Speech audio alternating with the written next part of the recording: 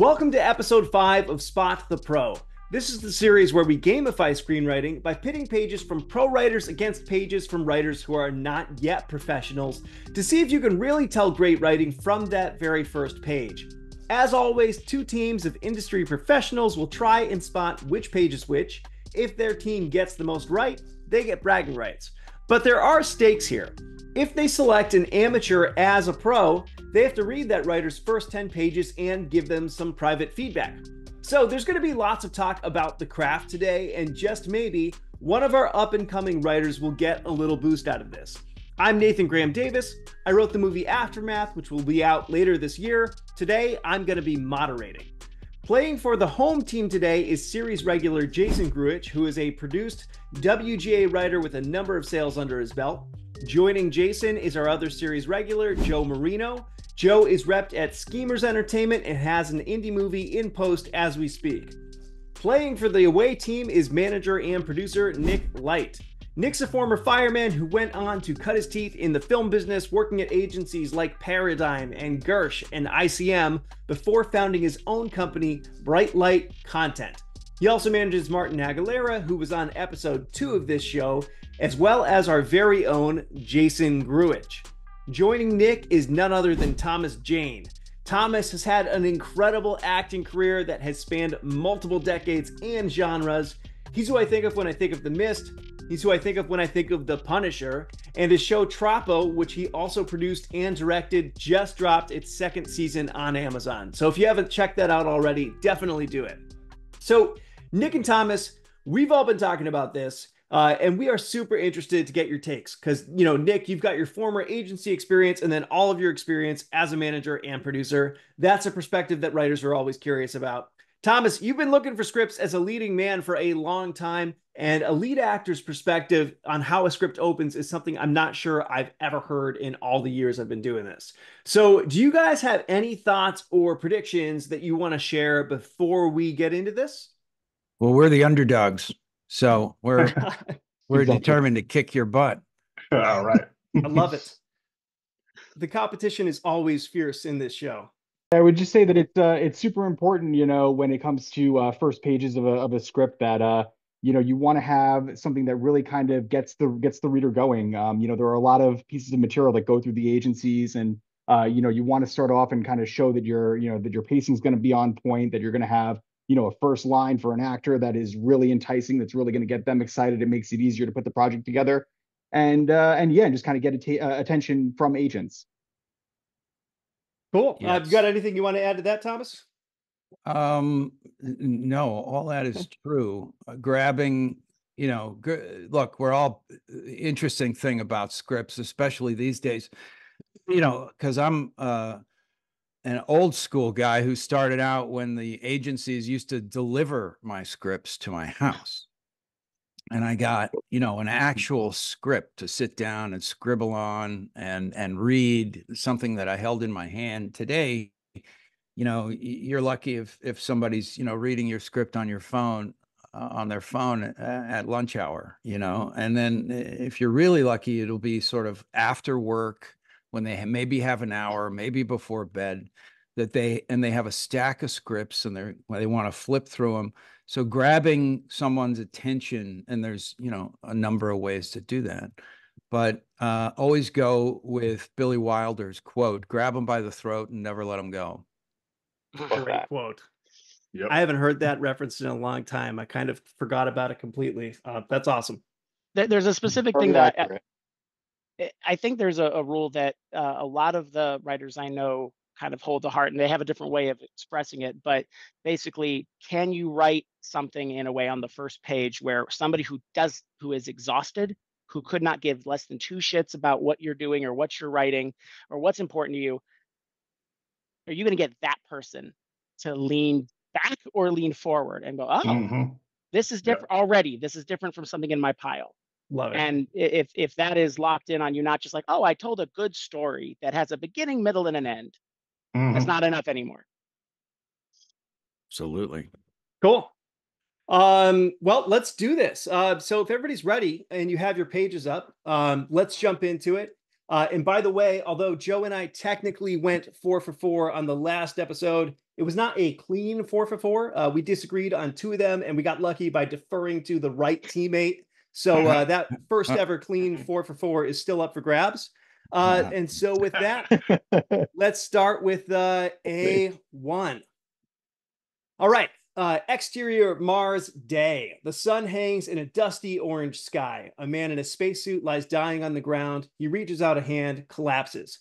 Blood pools from his body and spreads across the red Martian dirt. Then something bizarre happens. The blood starts boiling. It bubbles up and disappears into the low pressure atmosphere, leaving behind a cracked and cratered stain. Cut to black. Fade in. Exterior San Diego morning. Waves crash and foam on a beach littered with microplastics. Bland high rise apartment buildings crowd the coast. This is the San Diego of the near future. Interior apartment kitchen morning. A leather bifold wallet opens to reveal a police badge. Rhonda Hawthorne stares down at it, almost in a trance. Clive Hawthorne barges in. Clive, it's finally here. Rhonda quickly shuts the wallet and hides it underneath a newspaper. The headline Shuttles leaving monthly for Mars. Clive, oblivious, plops down a hardcover book and eagerly watches Rhonda's reaction. She casually sips her coffee. Rhonda looks professional. Clive, we'll send copies to Frankie and Vi along with our farewell video. The book is a photo album of their life together dating in college, their wedding, Rhonda getting her badge with the Boston Police Department. And that's A1. Moving on to A2. Okay, main title sequence. Before our story begins, we voyage through an artistic montage of death, hooded, cloaked, faceless, playing chess against mortal opponents throughout history. 491 AD, India. Death faces off against a pale young boy in a healer's temple surrounded by the dead and dying. 642 AD, Egypt. Death's opponent is an Egyptian soldier. The great library of Alexandria burns around them. 1157 AD, Japan. Death plays against a one armed girl in a gazebo. Raindrops dance across a lotus covered pond. 1504 AD, Spain. Death versus Queen Isabella I, a battle axe of a woman in her royal bedchamber. 1713 AD, Patagonia. Death's opponent is an old woman. The sun rises over the endless plains as she surrenders. 1900 AD, Austria. Austria. Death plays Wilhelm Steinitz the world's first chess champion in a dank mental hospital. Fade out. Prelude, death and love. Fade in, the sounds of a hospital, footsteps, chatter, the beep of a heart monitor. Interior hospital room, children's wing, night. Clearly, the room of a frequent flyer, cards from classmates decorate the wall, and the hospital bed is made up with faded Ninja Turtle sheets. Stephen Heim, 11, black with the long, gangly limbs he might someday grow into, sits up in bed, carefully playing chess against himself around an IV drip. From the shadows, Death emerges, hooded and cloaked, face completely obscured by shadow. For a moment, the boy and Death stare each other down. Stefan, are you Death? Are you, are you Death? A regal nod. Stefan takes a deep breath. He's a brave kid. The hooded head turns to the battered chess set at Stefan's feet. And that is pair A. Uh. So typically, the way that we do this, home team gets last ups, which means they go first uh, this time around. So Jason and Joe, let's hear what you have to say about the first pair. Joe, you want to start? Sure. Um, so I don't have a strong feeling for either of these. I do find myself more dramatically drawn to pay, uh, page two, but the, the there are usually I'm able to pick out more writing, you know, specific writing elements that are mm-hmm. leading me one or the other. I think that I don't feel the detail in A1 very much. Uh, you know, for example, I could see that, you know, a man in a spacesuit lies dying on the ground. He reaches out a hand, collapses. I would love to see like that should be elongated. That should be milked. The fact that it's just so simple. Mm-hmm. I don't, I don't really love that element, but I do love the blood starts boiling. I don't know if it's enough to completely grab me though. Um, and I, I, I, I don't like then something bizarre happens. That might just be me, but I feel like if you just told me the blood starts boiling, I know that's bizarre. I, I buy that already. So there's mm-hmm. a, I think there's slightly less slightly less confidence in there. At page two is is a buy-in because of course you're going against one of the great movies of all time here. You know, you're leaning into that's our understanding of chess and chessboard. And I do like how this is leading into, you know, what would this what would this look like if we're if this is then going to end up being fully modern day, you know. Mhm. But both ways, I don't see something in the clarity of writing that's leading me one way or the other. I think if I had to pick right now, it would be A2 just because I'm more in, uh, engrossed in what's happening. Um, Yeah. Yeah. I think I feel pretty strongly that it's A two. Um, like like you're saying in the first one, a couple things threw me. The first one, it you know, it's it felt a little uh, like Ian Shore was saying last episode, like a choice. Um, you know, and then like when I got to the newspaper, this is supposed to be kind of in the near future, and the newspaper kind of felt like it dated it a, a bit. Um, which you know could be indicative of first choices uh story wise but like you were saying it's, it's it's it feels simple it's very clear i get what's going on you know there's we're, we're leaving for mars and we're in the near future here and we're, we're trying to focus on these this this couple um a2 for me really pulled me in. I mean, it was, it starts off, I saw Tarant, you know, in Tarantino scripts, um, he likes to start off with, here's the opening credits and here's the song that go, and he can do all that stuff, you know, and people are going to read it. But I got the same vibe here when it started with the main title sequence, because you can, I, you know, in my head, when I'm looking at that, it's unfolding. You've got a really interesting take on death playing chess with the people he's taken to the afterlife um, throughout history.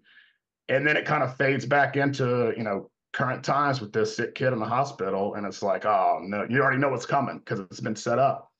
And the last line on that on, on a2 i thought really was a great hook. Um, and i want to see where this goes. But yeah a2 really uh, engaged me more in one page than the first than a1 did All right. So home team. and Seventh Seal, I always get always gets credit for Seventh Seal references. I love seeing that. yeah. All right. Uh, so home team's going A2, away team.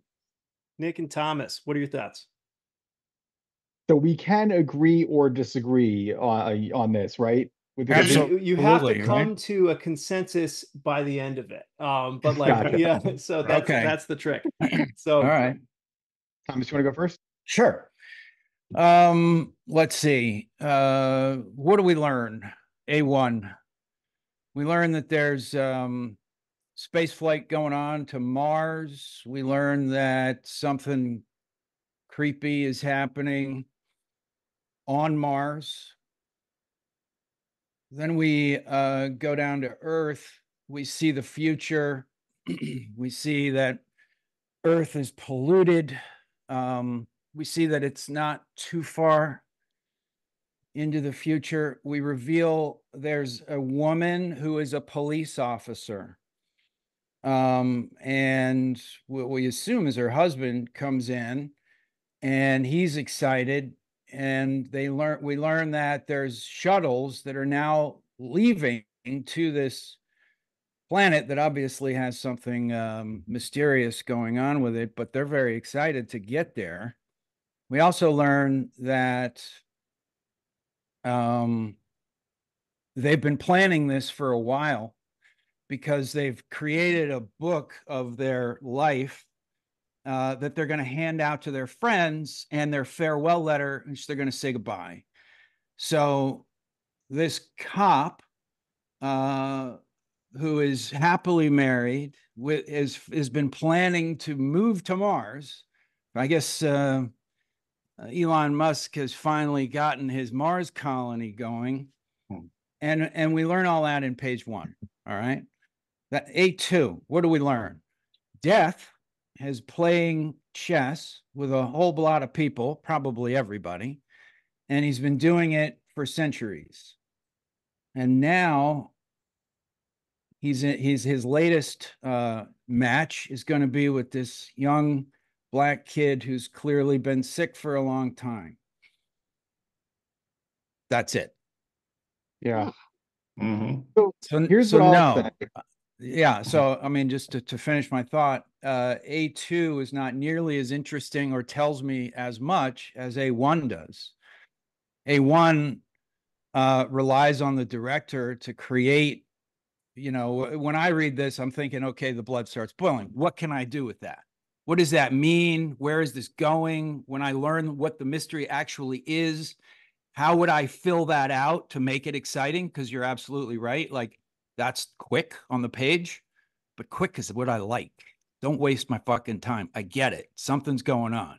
I'll fill in the blanks until now. If I get through the script and there's nothing there, then my first question, if I like the script, is going to be what the fuck's going on with the blood boiling. Okay, so Yeah. let's go ahead, Nick. Yeah so i'm gonna i'm gonna agree with you there. I think that a one for me um i'm just it back up. Um a one for me i think is the writer clearly has a grasp on how to get into the story how to put the hook in and then to move on and to and to keep the story going. Um you know you see the blood boiling thing which i think definitely you know has everybody's the reader's interest you know right off right off the bat and then you know it kind of moves into introducing what i assume are you know the main the main characters and you know from there another thing that i'll say is uh you know clearly the writer has a grip on white space using white space as a friend um you know to kind of get the reader through the first page and to kind of start the process of them uh you know going through a page turning experience Ooh, good point. so Mhm. that's what I'll say about A1. Um, A2 to me, I think there's a lot of information. Um, you know, it's interesting. I'll agree with you. I don't really connect with A2 as much as I do with A1. And I think it's just because they're trying to explain too much too fast. Um, you know, this this one on the other hand doesn't really have as much uh, command of the white space is your friend rule. Um, and I feel like a reader could potentially get a little bit slowed down right off the jump and maybe have a slower experience of a read. Mhm. Um, so I'll go I'll go with A1. Cool. All right. Um, this is fun. All right. So uh, totally fun. I'll reveal the, the- who the pro is first of all. Uh, so the fir- first of all, the pro is A2. So home to home team, you got it. Um, Oh, nice. That's Anne sweet. Hell, followed by Erica Schreiber. Uh, she's the, actually the co-host of the Untitled Female Driven podcast, which is a really great screenwriting podcast. Um, but she's developed fe- features for Blumhouse, wrote a martial arts movie for XYZ. Um, she sold an original uh, to Paramount with Project X producing, um, and uh, she's uh, got things going on the TV side uh, with Don Cheadle's the, This Radical Act and uh, Regina King's Royal Ties. So she's been crushing it. Um, and I, I like every every page in this I, I personally really liked and you know I, I think it's really cool how she set up the world there um, with death and everything like that and just uh, I like the whole chess motif very much um, so totally I thought it was very cool um, A1 was Blood Planet by Jerem Scott Andrews um, so uh, and I really liked that uh, for a lot of the reasons that you guys pointed out um, interestingly, Jason, like you pointed out the newspaper and the, the book, I'm now I'm curious, and maybe he'll throw it in the comments and answer us. But I, when I read those, I thought that they indicated like something had happened in the world that caused us to be using newspapers and like hard copies of Mm. books again and things like that. And I'm like, oh, that's cool. Like we're getting a lot Yeah, of really yeah. interesting mystery right on Yeah. page one. Right Um, on. so well, it's It's that's so really fast, cool. It's so fascinating how people pick up different things, you know. Why it's so Yeah. subjective. Yeah, Oh, so that's I'm, But really curious. cool. I I'm- that's interesting. I'm very Now- pleased to hear that uh, that a that that A one is uh, an up and coming writer. That's Yeah. that's really Yeah, neat. yeah, yeah. Yeah, I'll um, I'll share neat. the log line to that real quick. Um, it's uh, it- so it's Blood Planet. A former detective arrives at a remote Martian colony, only to discover a murder has just taken place there. As the investigation unfolds, she uncovers a disturbing connections between her tangled past and the future of life on Mars. Um, Nice. so Jerem's So- a writer. Oh, sorry, go ahead. cool. No, so one thing I often do when I have three or four scripts in my Yep. pile that I need to read, I'll read the first page of each one. And, and if these two, if these two were on my pile, I would start reading one before I start reading two. So that's really Because- Yeah. interesting. You know, take Nick's point, like it just looks like a lot of work, you know, to read this A two. And he and they we took a page, and yeah, I I get it. It's the it's the title sequence, but it didn't it didn't um didn't grab me. Yeah. Yeah, I mean, I You think know, that's- now, that's now, I info. I, w- I would, can, I wouldn't throw it across the room. I would definitely get to it. You know, I could, I could tell, okay, where's this going, you know? So, and, and so the first page is not, doesn't necessarily have to, you know, knock, knock you out, out of the, uh, out of the park right away. I, I generally give a script ten pages, you know, if, Yeah, i- yep. when, when, and after ten, you can generally figure out whether or not this is something you want to spend your time reading. Definitely. I really love Yeah. how, uh, Thomas, I really love how you basically were like, look, I want to just look at how many things am I learning? And I I'm that was cool too. and I- Yeah, I've never, I've yeah. never thought of a first page that way with be genuinely just letting yourself being impressed and immersed in the amount of information you're genuinely getting. Uh, Which can work against you also. I mean, there's lots of different ways to skin the cat, as as everybody knows. You know, Yeah. it's essentially what what is what grabs you, uh, and a lot of that's uh, you know personal. I mean, uh, yeah, the, the, between the, these are both difficult to tell. Like uh, if uh, which one is the pro. So that was that was a good. That's what we try and do Yeah. here. It, it would be less fun if it wasn't challenging. So. Yeah.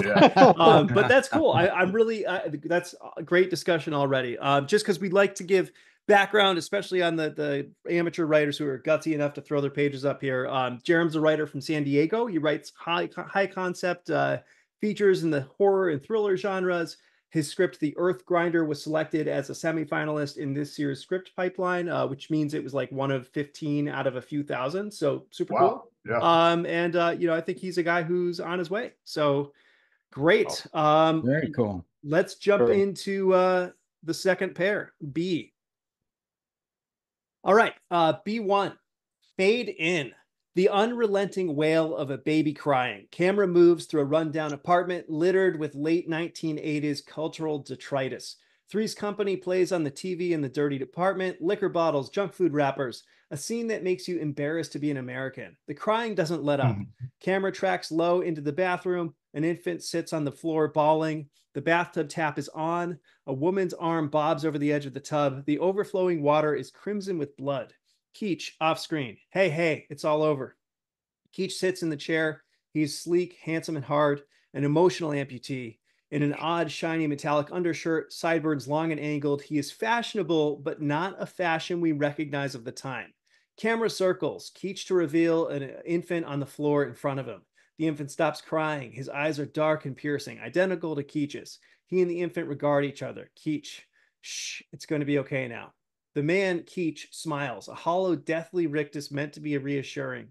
The baby reassumes, cr- crying hysterically as Keach wipes blood from a strange metal instrument, a miniature handheld umbrella ringed with clamps. In the center, a series of scissors offset to cut on every conceivable angle, a handle grip with pulley controls. Keach puts the instrument in a worn leather case, like a doctor's surgical tool pouch. More pieces of futuristic equipment, something like a sleek carpenter's plane, razor sharp blade set lengthwise in its underside, like row upon row of shark's teeth, a black length of tubing, like an arthroscope. On one end, a small pulsing tu- laser tube. At the other, a mishmash of arcs and curves resembling a cooking whisk or egg beater. Keach replaces the last tool in the case, dabs at one last streak of blood. Keach reassures the baby, who continues to cry inconsolably. Keach, no one's going to hurt you ever. All right, moving on to B2. Exterior, park, day. A Chicago American Giants pennant flaps in the wind. Laughter, a hazy blur of kids playing tag. A young black girl, seven, peers away in the distance toward, toward a public restroom partially covered in faded WPA posters. The glimmer of a large figure disappears behind the restroom. The girl wanders away from the kids. The laughter rises. A dark rain poncho watches from afar, trails her. The face inside is Dr. Isaiah, 50, a woman bearing a strong resemblance. Thin locks brushing across her face as she paces forward. Isaiah sees the girl enter the bathroom, hears shoe squeaks, struggle, muffled screams. Dr. Isaiah kicks in the door. Interior, park bathroom continuous. A gruff and feral man holds the girl, dingy hand over mouth. Tears stream down her face. Her hands tug at an escape to no avail. Dr. Isaiah draws a scythe. Gruff man snarls, reveals a set of deadly claws. Dr. Isaiah slices and amputates this mouth covering hand. The girl's voice is free. From overhead outside, a hypersonic scream. Smash to location unknown, continuous. Super 2009, Darkness, and a faint blue light. Dr. Isaiah startles alert, gasping, water rolling off her head and face. And that is pair B. All right. So, uh, Nick and Thomas, you're up first this time. That is a tough one. Um, hmm. Thomas, what do you think? I responded to the first one more than I responded to the second one. The first one got my attention and the the mystery uh, of um, of who this guy Keach is, what the hell he's doing with these odd, you know, metallic undershirt. I love the way he's described uh, as an emotional amputee. Mhm. Yeah. that's a good one, I was like, okay, That's that's great.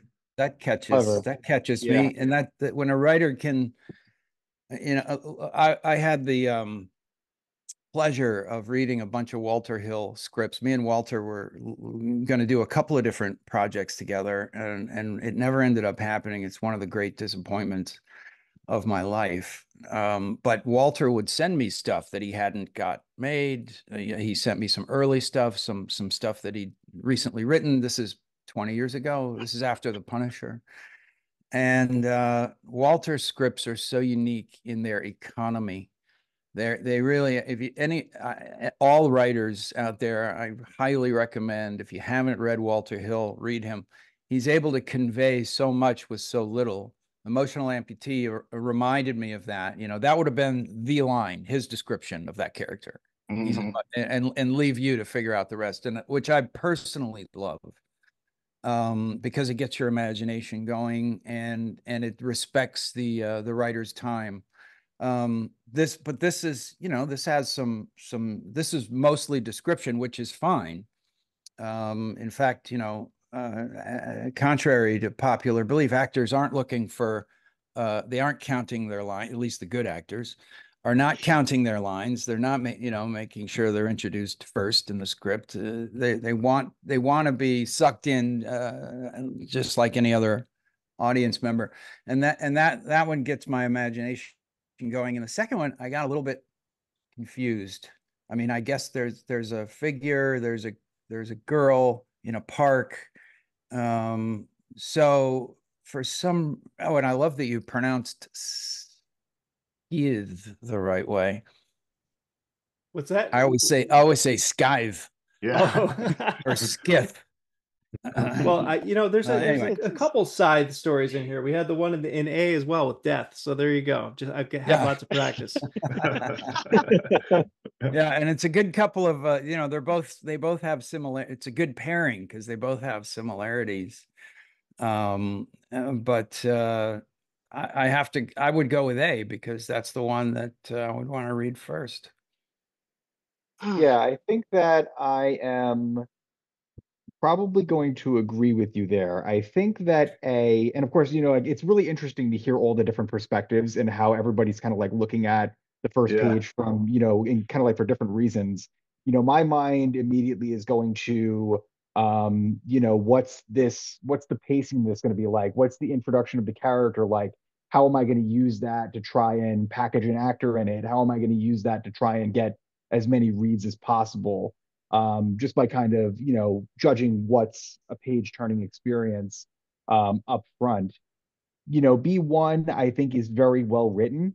Um, there's a lot to like there. Um, you know both in the description and then also in the in the dialogue. I also love first lines that kind of start off in the action you know where it's like hey it's it's all over. Um, it kind of like makes you feel like you're joining in the middle of something. It feels a little bit more natural Mm, um, of, of a beginning. So I think that this writer clearly knows what they're doing.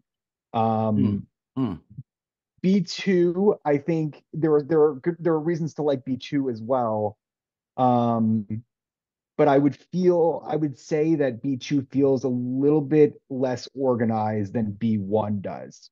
Um, however, B2 has perks to it also. Like, you know, I love writers that, you know, will write one or two lines of prose and then move on and just keep the keep it going, keep the experience going, as opposed to B1 where it's like, you know, four or five lines of prose in each Mm. in each paragraph. Um, Mm. that can be that can be telling sometimes too. but I, I think that I'm gonna go with B one. I think I'm gonna jo- yeah, join you and go with B one. Cool. Right, All right. Away team's going B1. What about you guys? Um, I could start. Um, I I uh, agree with this. I agree with I agree with the away team because I think that it it feels more confident to me. I I I I guess I look for two things in particular. I'm looking for is there is there genuine confidence of the of what you're trying to convey, and I feel like the level of confidence that's there on like page one being I'm going to describe two incredibly difficult to explain instruments and and if you don't see it you don't see it that this is a big risk to Hmm. take this early on like I, i'm still kind of like man yeah I, I don't think i would do this where i'm like i'm going to live or die based on if on you understanding this death umbrella. That's a and and and i feel like there's confidence there and then the emotion uh so then the second thing for me would be uh, uh, emotional context. Do i have enough here to believe that this is going to in some way emotionally get me and i just already feel that um this guy looking over this child after he's just killed what i assume to be a parent and the the attitude that he has towards the child is already leaning towards an emotional mystery that i like um, whereas I, I feel a little more confused and disjointed by page two. I, I get that I'm supposed to lock in on the seven year old, but I don't understand it quite enough to, to have that happen for me. So I'm going B1 as well. Yep, I agree. I think it's B one. Um, B one, the sheer the sheer storytelling. Um, you know, just really it really grabs you. Uh, I know it's it's it's real blocky with the text, but it's like Joe was saying. Like I felt something in this page, especially at the end when he the irony there when when Keach turns to the the kid. Like, do you trust him? You know, is he there? I want to know what happened. Like, and you're you're you're jumping right to the middle of this um, and it's very deliberate and intentional with all of the detail that's in there. And then when you break it down further, writers who put in like camera moves through a rundown and camera tracks low and camera circles, like to me, that's and, and also the description is fantastic after that. But when I see stuff like that, when I see it done well, like it is on this page, it, it, to me, that's vision. And it looks like a director's writing this to direct each shot that he sees clearly in his mind um, and which transcribed and translated perfectly to the page for me personally. B two, I agree. Um, didn't I didn't feel like anything yet, but it, it felt like it was the, the shots in my mind were a little more disjointed, uh, and there was a lot, maybe a, a mild lack of uh, interconnectivity between, I guess, what the writers intending you to visualize. Um, but, but yes, I mean the economy, the white space is there in page two. There's stuff to love about it. Um, you know, uh, but yeah, for those reasons, I, I think it's B one for this one. Actually, Cool. I'd like to jump. I'd like to jump on that for just half a second. Yep. I think Yeah. the, the issue for me with page two very specifically is when things happened, they felt random. Like the idea of Dr. Isaiah, connected. There was no uh, connective tissue. Dr. I, yeah, Dr. Isaiah pulls out a scythe. When that happens, I'm like, where where did that come from? Yeah, My first reaction is, it how cool is that that somebody's Mm. pulling out a scythe? It's like, where the hell was it before before I'm Yeah. seeing it now? And I, I context is critical for something like that. Like if I knew he was hiding something clearly, you know, there's just other elements that, and I understand. Like I'm I'm assuming with a scythe you're dealing with death, and it is just going to come out of magically nowhere. But I shouldn't Yeah. be stopping and being like, how is that possible? And I think And I I had to do that too many times. Sure. Yeah, and I think, and another little thing that I I just noticed reading it was like at the very end of the first uh, scene description, exterior part day, where Isaiah sees the girl enter the bathroom, hears, and then shoe squeaks, struggle, muffled screams. I think to me that feels like a writer who who is I get the intention, but is getting too caught up in I need white space instead of leaning in a little bit more to like kind of really make those things pop. Like, you know, here's gets its own line, which it's fine. It, it makes the read fast and vertical, which is great. But do you really need, you know, here's on its own line there? And it's just, again, that's a nitpicky thing. That's not a deal breaker. I mean, at all. You know, the, the page flows and, Mm. uh, but yeah, like little things like that's what makes me think B1. Cool. anytime I'm anytime I'm interested in in something that is not white space versus something that is, I, I feel like okay, there's a reason, you know, there's something Yeah, really yeah, special yeah. going on when somebody goes against the, you know, the rule Hmm. of make this easy to read, and we still pick that, and we're still gravitating towards that because Yeah. going so what going to what Thomas said for the last one, it's like j- j- this looks like a lot of work when you're still reading, even though you know it's a lot of work. Yes. yeah. That's that special sauce. That's when you know you have something special. Like I think everybody prefers. I know I do. I prefer white space. Nice, quick, fast read. I can read it fast. Especially when you first open a script, right? And you just see it, ah, white space. Like, yeah. But when the writing's that good, like it just pulls you in. And, uh, you know, Let, let me point out Very- that the the dichotomy uh, between this innocent baby and this man with a hollow, deathly rictus uh, is is is um instinctually captivating, right? That Mm, yeah. interesting. That is cool. a great point. Well, you are all right. Uh, the pro, the pro page is B1. Um, that was Ticking Clock by John Turman.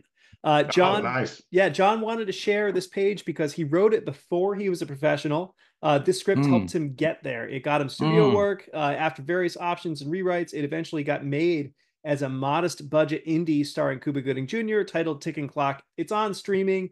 It's different now, but that scene, the opening scene, has really remained mostly unchanged and is still Mhm. there. Um, so Mm. John went on to have a really cool career. Uh, his credits include uh, Ang Lee's Hulk, Fantastic Four: Rise of the Silver Surfer, projects for nearly every studio, TV work including franchises like The Crow, The Saint, Ben 10, and uh, the recent reboot of MacGyver on CBS. Um, so, uh, and uh, he was something of a, a mentor to me, so it was fun to share one of his pages here.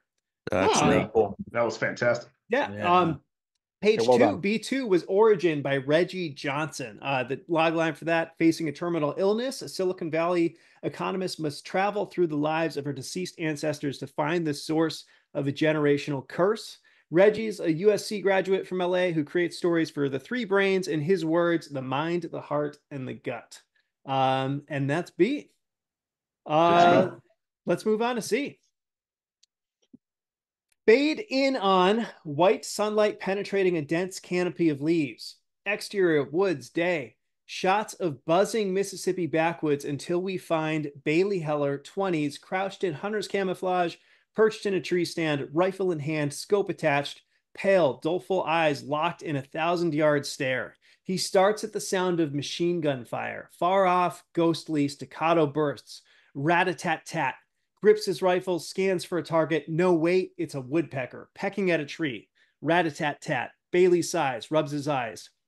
Nearby at another tree stand, Wayne Heller, 30s, perpetual scowl, weeks growth of beard, dirt under his nails, at home in the wild.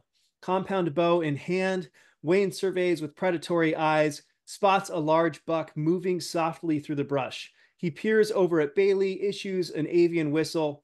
Bailey's POV. Wayne holds a hand to his head, fingers spread like antlers. Bailey scans, makes out the buck in the foliage, puts the rifle to his shoulder, lines it up in his sights, exhales a half breath, holds, finger caresses the trigger. A fly lands on his cheek. He doesn't flinch, but he wavers.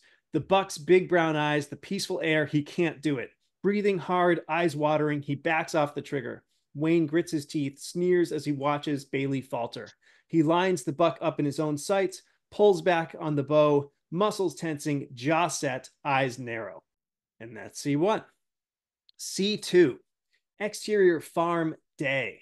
Corn, an ocean of green corn stalks roll over endless prairie. A man made oasis tucked inside a shelter belt of cottonwoods. Old red barn with chipping paint, metal machine shed, a farmhouse with a sagging front porch. Patrick, 40s, marches out with shotgun in hand, face awash in tears. A hardened farmer admitting defeat for the first time. Muffled screams briefly escape from somewhere inside before the door slaps shut. Silence returns. Boards creak as he steps across the porch, down the steps. Operator, voiceover, 911, what is your emergency? Patrick, voiceover, I can't, I can't do this again. He crosses the yard, disappears behind the machine shed. Operator, voiceover, sir, what is your emergency? Heavy breathing between sobs. Patrick, voiceover, tell Brianna, daddy sorry. A moment of hesitation. Clouds drift overhead. Golden corn tassels catch the slight breeze. A shotgun blast. Crows take to the sky as the blast reverberation turns into interior bedroom night, the ring of a cell phone on a nightstand. And that's C. All right, home team. Jason and Joe, you're up. Hmm. This is like the battle of the white space, right? Um, yeah. My gut tells me it's C2.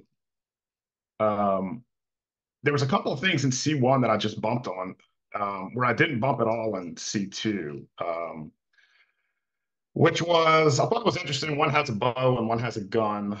The thing I bumped on is Bailey's in his twenties, and it and I think it was the woodpecker. It's like it was an interesting choice to kind of it felt like a gotcha moment, like the writers trying to maybe maybe visualize a backstory in Bailey Heller. But then I was like, that person's in their 20s maybe they don't have this ptsd you know like she, she hears the woodpecker and she's triggered into remembering something like that's where my mind went when i read that um, and then she can't pull the trigger, so Wayne has to make the kill. Um, but I didn't get a good sense of like why thematically, like kind of what was going on. Yes, they're hunting. I get all of that. That's that's clear, but those are the things I bumped on on that page. C2 was very uh, minimalistic in its execution, which is starts with a suicide. But instead of so sh- showing the guy walking with a gun on the phone, I thought there was an interesting take where you're focused on the setting and you're hearing like, what's happening. And then, you know, in any good first scene, it's going to end with a blast, or you know, it's that last shot, the shotgun blast is going to jar you and maybe make you lean in a little bit more. I think I just connected with the second one a little bit more, so that would be my gut instinct, but that was tough. Okay. Joe. Um. So, I think that I I enjoy the writing more in C1, but I like what's happening more in C2. I C2 feels mm-hmm. more like a, a, a movie startup to me. I like the cinematic perspective of it because there was a way that this could have been just far simpler. And you know, you're just as you said, just watching a guy on the phone with a gun in his hand going up, mm-hmm. gun, you know. But the, you know, there this is trying to do things in a I, I feel like a uh, just a slightly different way, trying to to grab us. I really like the idea of the first, you know, this first shot of some uh, like a hardened farmer admitting defeat for the first time. That was great. That was the line I mm-hmm. enjoyed. Um, and then the um, the transition was cool at the end with the idea of, uh, you know, the turning into the ring. Mm-hmm. Uh, on, but for me, the the first one, I I think I want to know more about the first two characters because yeah the idea of somebody having a choosing to hunt with a crossbow versus somebody uh, or a, a, compound bow and a rifle you know in the idea of I, I i did bump as well on i don't know if i could buy genuinely thinking a woodpecker is a machine gun i think i think that's a big buy-in that i i'm personally yeah. just like i don't know if i and I, it sucks because like yeah, because there could be, as you said, oh, it could be PTSD. There's a billion reasons that could happen, but I'm stopping being like, oh, I don't buy that. And that always sucks when you're taking a risk and you're hoping that the risk you're taking isn't just an odd, you know, an automatic, oh no, I don't buy that. I'm done from the yeah. reader. Yeah. Um, and, and it might be. So and you know, I, distant distant gunfire does sound like a woodpecker, and, and that's a fine way to, you know, kind of describe it. But, I, but to me, like I have a woodpecker, the image of a woodpecker in my head now. And it kind of like bumps. I'm like, okay, wait, let me get back to where I was. They're hunting. And then, you know, like then there was like one part at the very bottom where a, I like how they built suspense here. You know, exhales half a breath, holds, finger caresses the trigger. Like that's good tension building. A fly lands on his cheek, but he doesn't flinch. And then, but he wavers. So that then I'm like, he doesn't flinch, but he wavers. Kind of was contradictory to me. Um, I think it's, I, it's, I, I think I'm going to have to lean into uh, Tom's thing of you know get to the point. It is it, as much as I like the writing, it's not getting yeah, to the point yeah. fast enough. Yeah. So uh, you know what, I'm I'm gonna I'm gonna defer to you on this. I think there's enough reason. I, I do still really like the writing, but yeah, yeah I defer to you. Um, kind of make me want to keep going and reading, but uh, yeah, my gut says C two for this one. I'll say C two. All right, I'll I'll go with it. C two for the home team. All right, uh, away team. What do you guys think? Um, I'll I'll lead off here uh, this time. Um, it's a close one. Um, it's definitely a close one. I think that both uh, pages do a good job at building suspense, but kind of in different ways. Um, you know, this first page reminds me a lot of the opening of American Sniper. Mm-hmm. Um, because it opens the same kind of way uh, with uh, somebody teaching somebody to to hunt um then it kind of feels like Like there's, you know, I think that we're we're just missing, you know, what the significance of this moment is probably in the next scene, uh, which Mhm. probably happens on page two. But you know, that being said, it kind of grabs me and it pushes me forward. It makes me want to read the next page. Um, you know, there may be a lot being said on, you know, on the first page as opposed to the second. You know, I, I think that I'm gravitating towards C2 also, just because this page, this opening page, it feels so clean um, in its execution and just clearly there's a plan. The writer knows how to hook the audience and how to get them going, and there's not much else there um, you know, and it kind of probably will really, you know, create a really fast-paced kind of read. Um, you know, and I forget who had mentioned it. Jason, you may have mentioned it, just how um, you know, that you see a lot going on in the background and in the scenery, but there's like a lot of voiceover. Um, and I think that that's all very clever, and it's a it's a cool way to kind of build suspense. Um, so this writer definitely has the command of uh, of the craft. Um, I'm gonna vote. I'm gonna have to vote C- uh, C2. Thomas, what do you think? Well, I can't help but judge both pages by my own personal interest in the story, you know, and then and then I have to remind myself that this this isn't necessarily about that.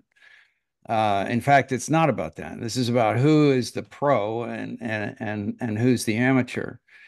Um, but going a- and and they're both scenes that I've seen before. Okay. So I've seen the farmer. I mean, I've seen this scene. I've seen the farmer shoot himself in his cornfield. Um, and I've seen the uh, the guy who can't shoot the deer because he obviously has uh, something going on. It's it's it's alluded to with the woodpecker. I agree. Is that the best al- alliteration? Uh, you know, but it does get the jump, and we I can't judge that until I actually know what's happening with these these two guys, which we don't. What we do know is that something something's going on. We've got um, a dichotomy of opposites. You know, we have a hardened, grizzly guy with a bow, and you know, if you're a bow hunter, that means you- you're willing to get close. A, it's a lot harder to shoot a buck with a bow, and B, it's bloodier. It, it's it's more primal and and then you know the guy with the rifle is is now uh, what one thing that bugged me is I know that there's bow hunting season and there's also rifle hunting season, but I Right, don't yeah. and I'm but I'm not a deer hunter, so I don't know if those overlap. So there's a bow and maybe there is. I don't know. And and that's not a deal breaker, you know. It's a movie. I get it. Um and there's, you know, and depending on the story, we could that's either a problem or or it's not.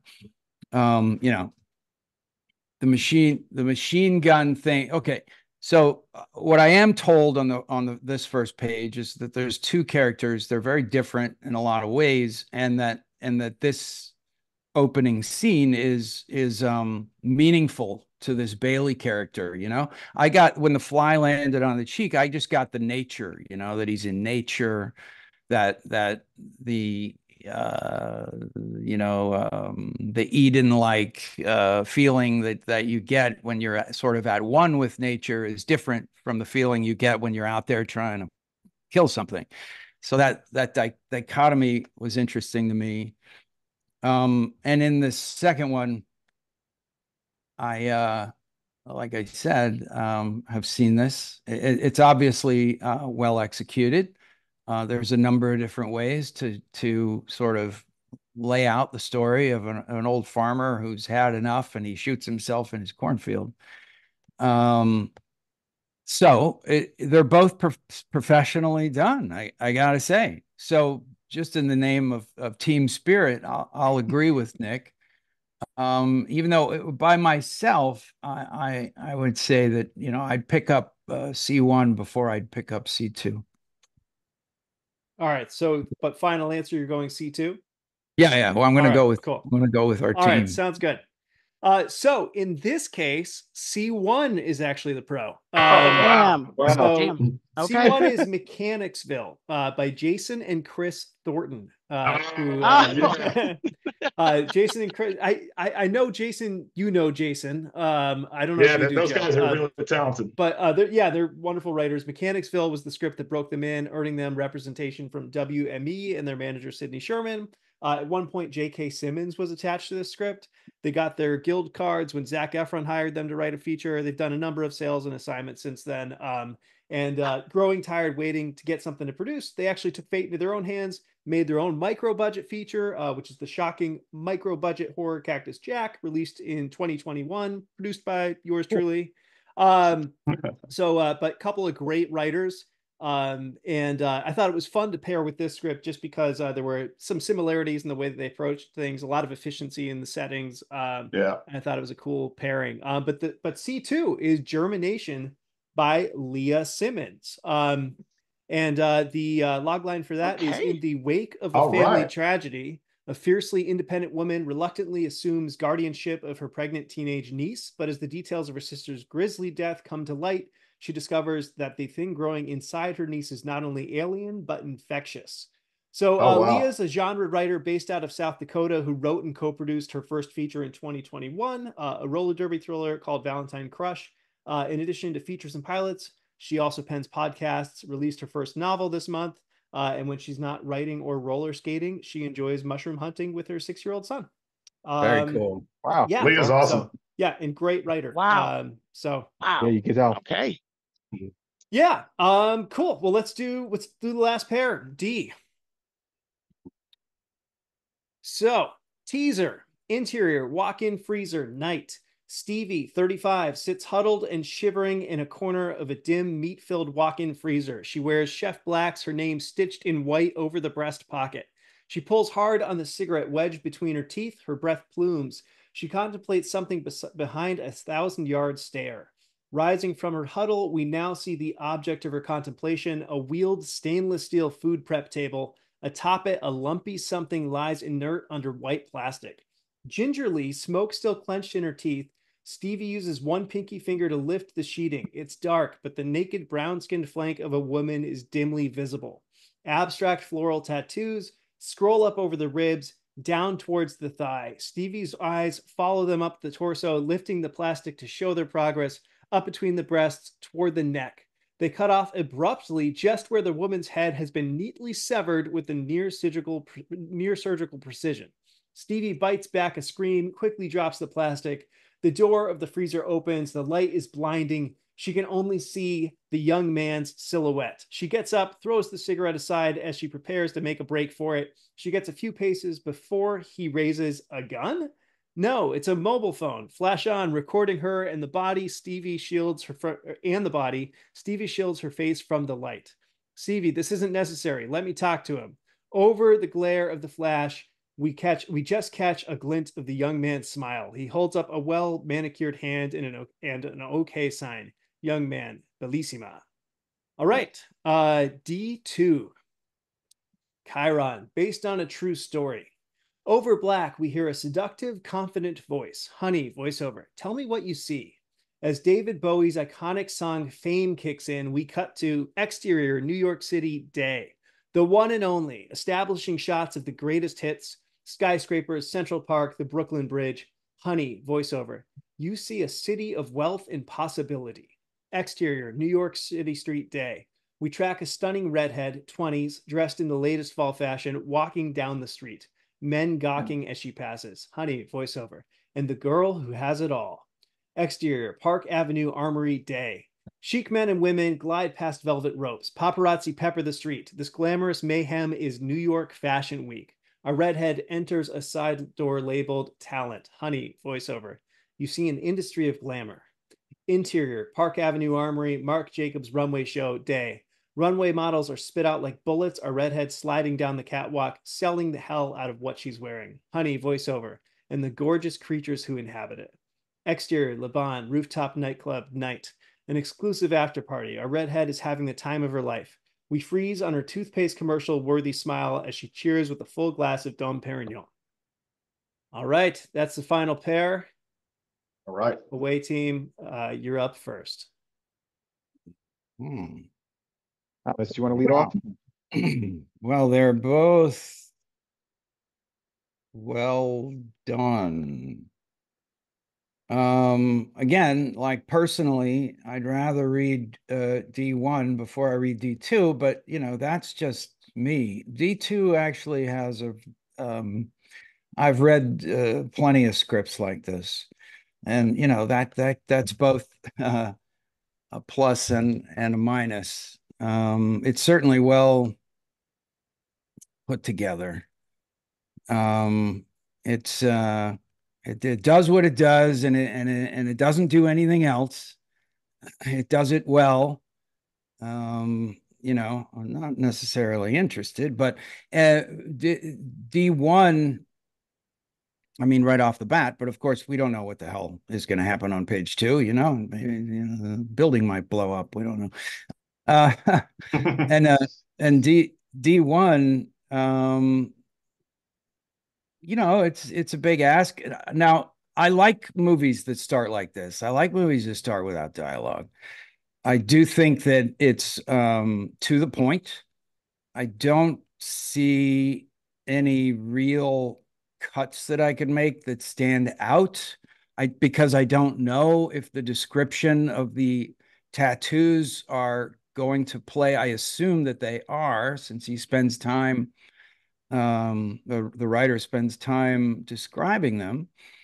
Um, and now, so I can't see anything wrong with with D with D1. Uh, you know, um, and it's uh, kind of grabs me you know but again this is just personal d d2 is is a perfectly well put together i mean my first instinct would be that D2 is probably the pro, um, just because it just seems like somebody paid them to write it.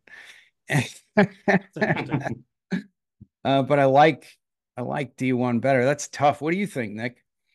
So I'm gonna go with uh all right. So D1, I think the writer does a really good job with building tension, you know, with starting with starting us off and kind of slowly revealing information as the camera does its its initial move, what, what it seems like its initial move.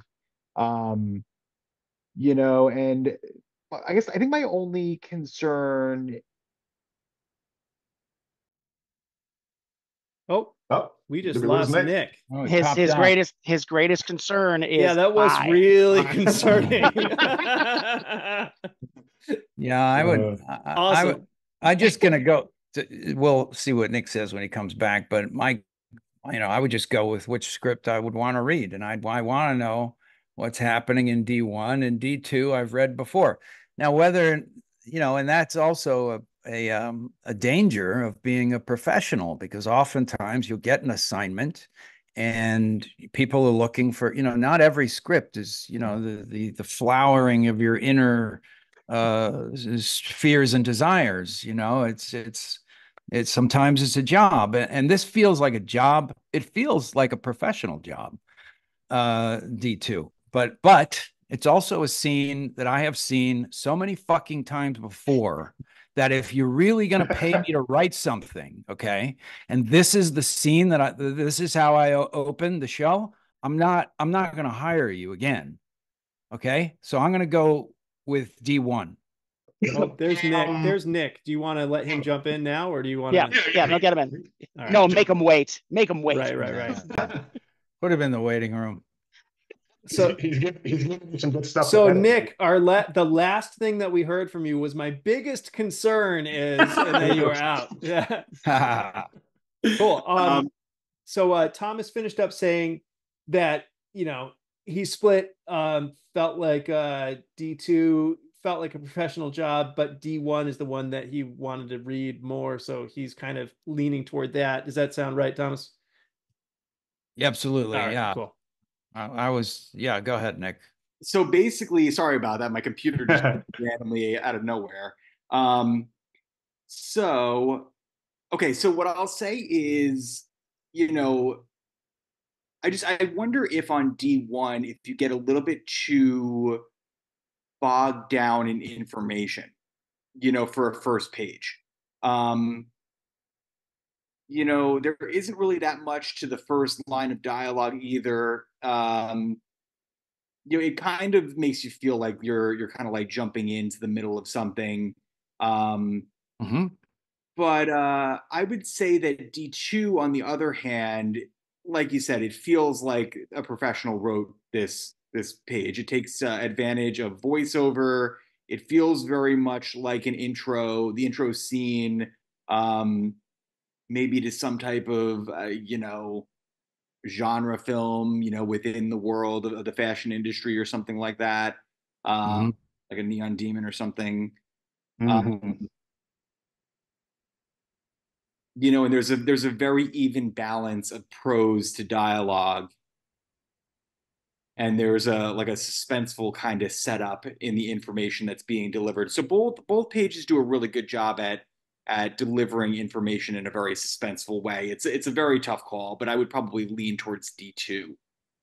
So let me tell you what was the tiebreaker for me because you because you, you had disappeared. Um, the uh, if, if I was hiring a prof, I've seen this scene. I, I've read this very scene a number of times. Okay, and if I was to hire somebody to write whatever this true story is, and again, you know, we can't, we cannot judge uh, uh, the, the, but this is only based on page one.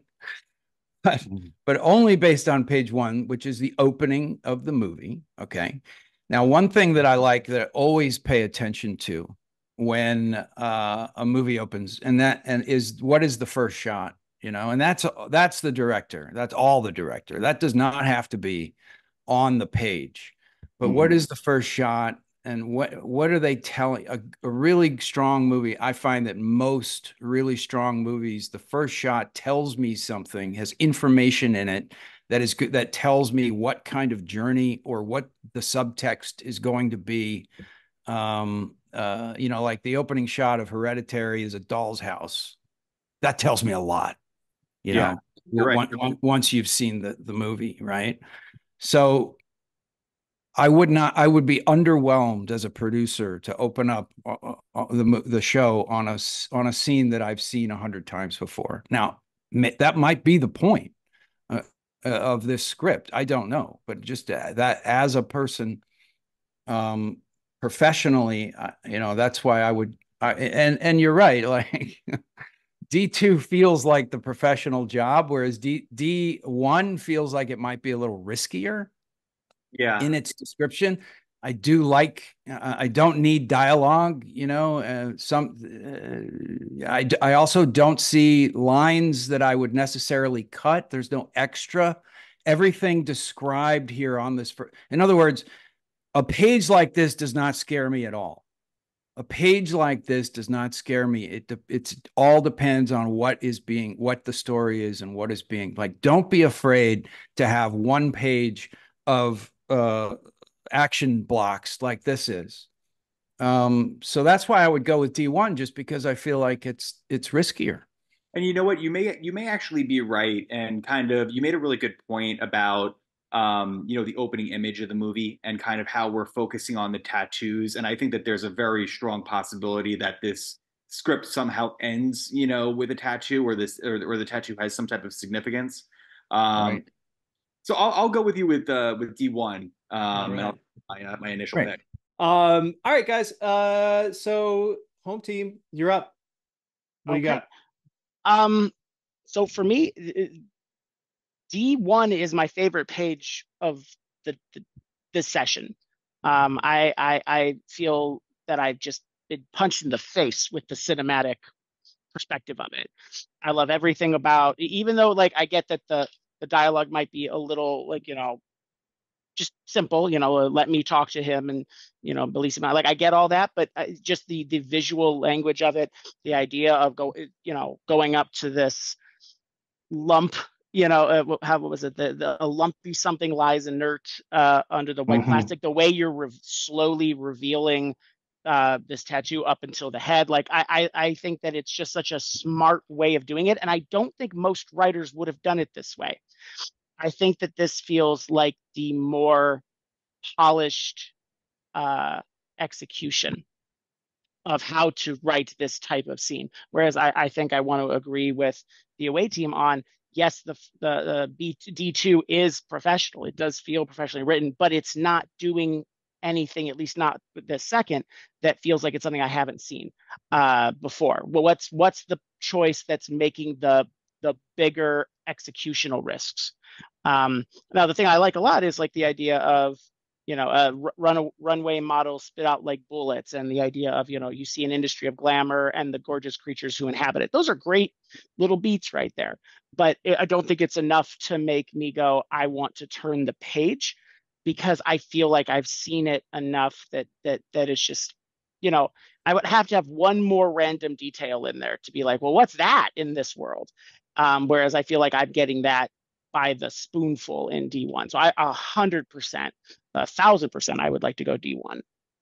I I have to agree. D1 D1's probably my favorite page of the whole of the whole bunch. Hmm. Um, hmm. Personal favorite, like so.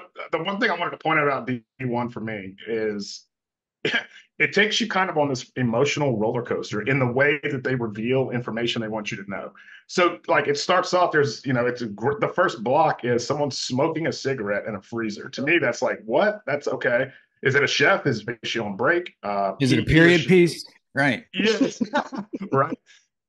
And then it's, you know, we're looking at what's under the sheet. And then it's now the, the flank of a woman. Is she in a morgue? And then it's like, so you, it goes from like this cooking show in my head to this, you know, this troubled chef to now we see there's a body in there. she in a morgue? And then there's more information that's revealed where now she's like Hannibal Lecter's got her, you know, like what's going on here?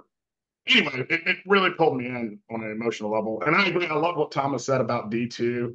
It, that does look like a professional job. I, I would have never thought to articulate it that way, but um, and it is written almost to perfection. Um, so, you know, D1's my favorite page, and I think it is risky with and its confidence. It's very confident in what they want you to see. Um, so I'm going to go with D1 because I, I, get a really good sense at the bottom of that page. That I want to know everything else that happens. Yep. In D1. You know? That's a it's a movie. It's a movie. It feels yeah. yeah. yeah. Cool. D2 could be like Pretty Woman or Devil Wears Prada. I get what y'all are saying. Like I've seen that scene too. Mm-hmm. And there's nothing wrong with it. It's it's mm-hmm. well constructed and put together. Mm-hmm. Um, I love those movies. It's just, oh, man, I just I really love D1. All right. Mm-hmm. So uh, the consensus for everybody is D1. Is that correct? It, it could be either one, yeah. but yes, I, I think yeah. I'm gonna go with yeah. D1. All right. Yeah. Uh, D2 is the pro. Uh, D2 is uh, Queen. Me to lose this one. Uh, I mean, yeah. I, I will get to that in just a second, but ah, I'll say that Nick's I, the only one that picked it. well, I, I, will say you won't mind reading D1. It's the only uh, script of the non-professionals that I've actually read on this list, uh, and uh, I can tell you that you will not run, mind those first ten pages at all. Um, mm-hmm. So, uh, but uh, Queens of the Stone Age is uh, D2. Uh, that's by Elise Hollander. So Elise is actually oh. managed oh. by John Zaozirny, yeah. who was on our last episode. Um, she graduated graduated UCLA, worked as an assistant at places like Anonymous Content and Universal. Uh, but her career was launched in 2016 when she wrote Blonde Ambition, which was a biop- biopic about uh, Madonna. It topped mm-hmm. that year's blacklist, sold to Universal. She basically just shot up from there. This was an adaptation um, from a GQ article. Uh, she was hired by Sony to write it about um, a true story of a model who uh, moved into weed dealing. Um, and uh, since then, she's uh, worked on the Amy Winehouse biopic. She wrote on Guys and Dolls for TriStar and recently wrote Freaky Friday 2 for Disney. Um, nice. D1 nice. is Knives by Victoria De Capua. Uh, so the log line for that a sous chef is forced to make a deal with the devil after she discovers the head chef has been stealing from the staff and the mafioso restaurant owner.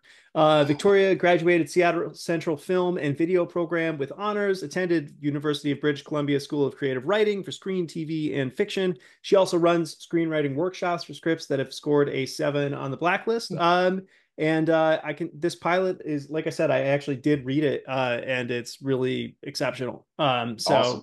it's a good right one. on. Right on. Here, here's the line that I missed that gives why this gives away why what's going on on this first page for D2. Mm-hmm. As David David Bowie's like it's the first line of the fucking thing. As David Bowie's iconic song Fame kicks in, which tells us automatically that this is supposed to be the uh, the uh, quintessential um movement right a, a scene of wealth and power and models and fashion week and all that so so you, you're, it, it it it does fulfill it tells you what it's supposed to be on the Mhm. first page it I does will- tell you that hey this this looks like every scene you've seen before but there's a reason for that Yeah. There was Mhm. also Yeah. I, I do I, I want to uh to be fair to Elise as well. There was a quote on the the page before this, so like kind of sort of the technical page one, but it wasn't included on the same page. And this was the first page that actually had any, you know, anything that would be shot. Right. Um. So, but there was a quote on that and that too. So it just kind of all ties in together. Um. yeah But Yeah. uh, yeah, I mean, uh, you know, it, like you both said, um, or like you all said, I mean, also obviously a very professional page. Um, and uh, It's I exactly- it's exactly what this one too. The- So It was exactly what the guess was, which is this was a, a paid job of a professional that went did a thing a very specific way. Yep. So you, you- yeah. Yep. so that's it. Um, so guys, final thoughts. Uh, any big surprises on this one, or thoughts that you'd like to share for everybody who's watching? well you can't judge a script by the first page but you can't but but you can judge uh execution you know you kind of know what kind of hands you're in and all of these all four of them uh i didn't see nothing stood out that told me that these were amateurs. Not not nothing stood out. Um the only the thing that bumped me about a1 the mars that you know the, the- is that that might have been too fast you know like the, the the i love i love learning a whole bunch of stuff but again you can't judge you don't know what they're trying to get to what this scene is about. If this is some kind of prologue. We just don't know.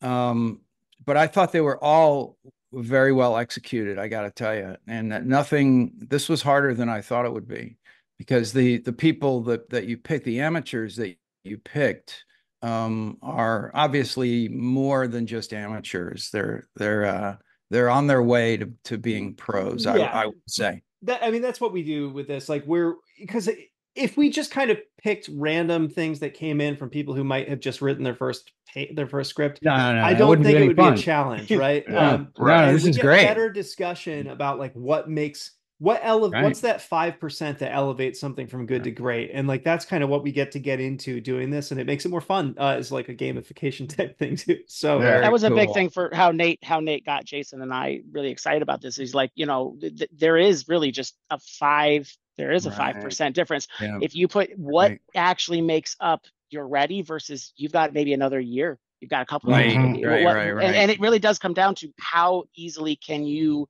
sift in your brain through good, really good, and great ideas mm. and then good, really good, and Mhm. great execution. And they mm. all have to be at this level if you want to be mm-hmm. playing in that field, or else it's just not good enough. So Really I, I, cool. I, so th- really yeah. cool.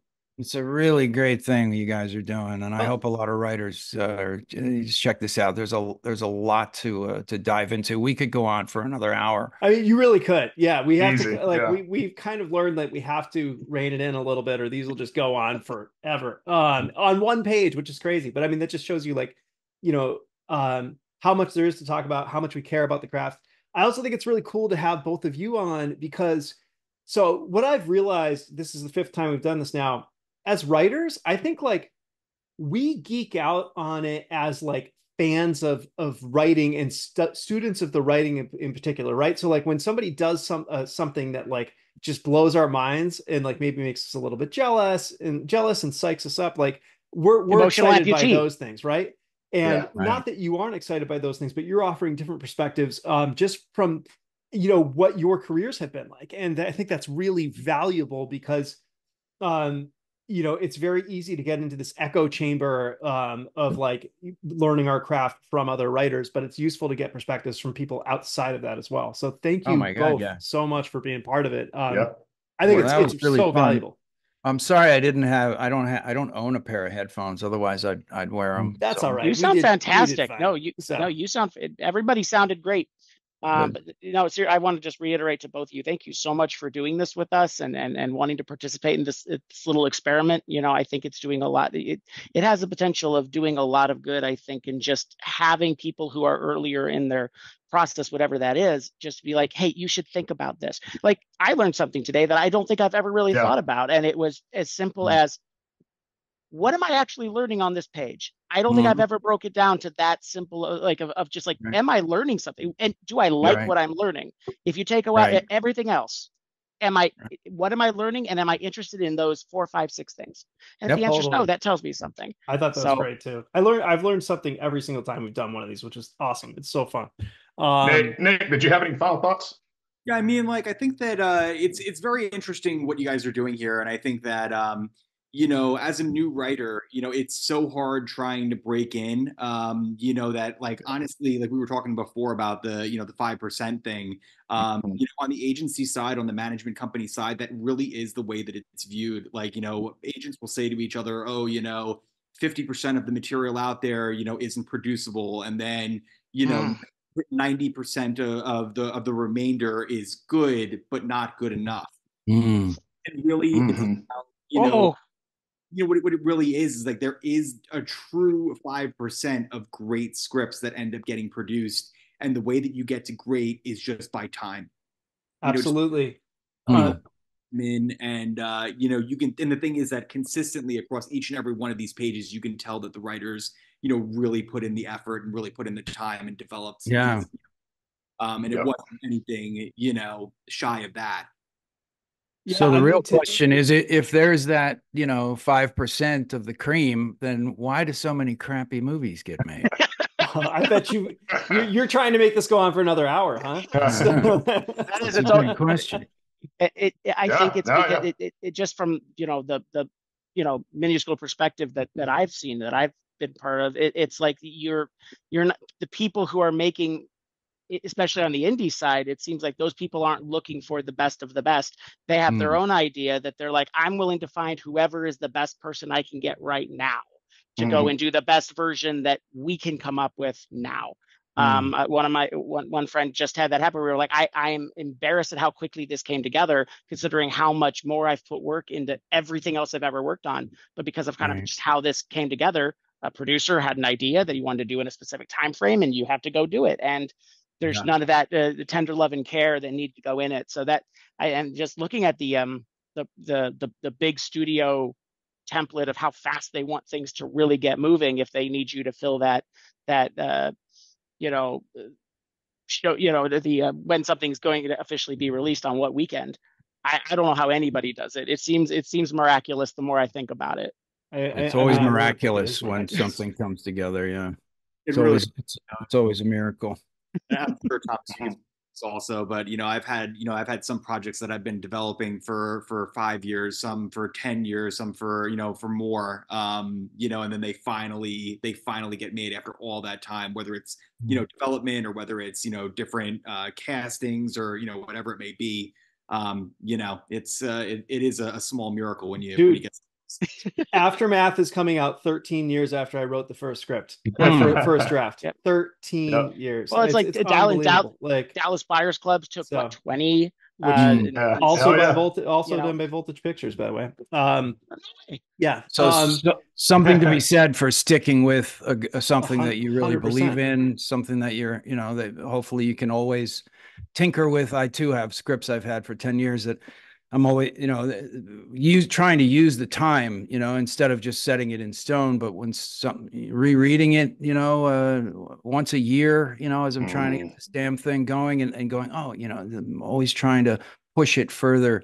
Uh, so trying to use that time wisely, but sticking with something that you believe in is really important. I, I, yeah, I mean, I, I 100%. often think uh, tenacity is like just as important as talent in this business. it's like it's so important because you have to Um, believe in it and believe in it forever yeah, Yeah. be a little Yeah. delusional maybe but um on the on that five percent subject just because you brought it back up nick um and because john turman wrote b1 which was the one with the baby in the bathtub um first time i ever talked to him was actually after he read an early draft of aftermath back in like 2012 a mutual friend had sent it to him he called me up and he said listen this is better than 95% of what's out there.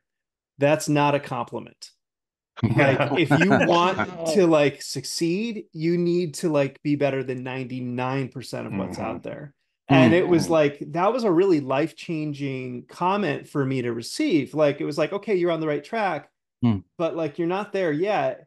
And so I had to I'd already been at this for like 7 or 8 years. I had gotten my first manager and everything, right? And like I had to kind of like say, okay, what am I going to do? Am I going to like brush him off or am I going to like say, okay, you know what? What do I need to do to to be better than 99% of writers, right? And so I don't know if I'm there yet, but like that's what I've been chasing ever since then. And that was a really important comment for me to receive at that time. I think Yeah. that's the hard thing. Again, that ni- that five percent. I think most writers and mo- most creatives in general aren't willing to internalize not being good enough now.